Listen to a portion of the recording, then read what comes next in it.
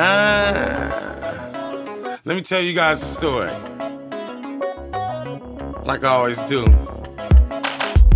Yeah, you know it's all about love, but you gotta know thicker than blood. A family of six, mama with the shit, run the streets like a kid just to get it fixed. And it's a crying shame for a child to survive the pain. The older sister split early, recognize the game. Five different daddies, have kids to get aid.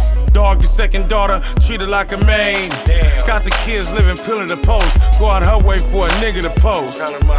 And when you have a child, you supposed to love them the most. Supposed to put them first, not treat them worse. Leave the kids on the second girl, a mother of four. She break when she get a chance, run for the door. Got her legs open, looking for love. Cause she figured out to come and thicker than blood.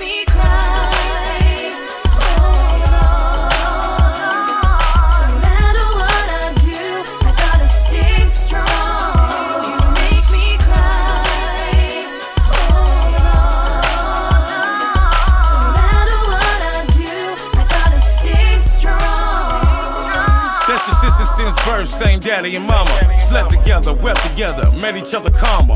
Fought for one another, elementary through high school. The one you always trusted, one you never lied to. Even when you tried to, she could read your vibe. Now you're both grown with families of your own kind. Your sister, baby, daddy moving zone, stacking grants. You got three kids, you and your girl doing bad.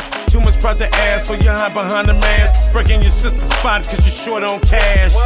Take the safe and 30 racks. Though nobody was home, but guess who double back? Your sister, baby daddy caught you in the fucking act. What happened to the love? You could've asked for that.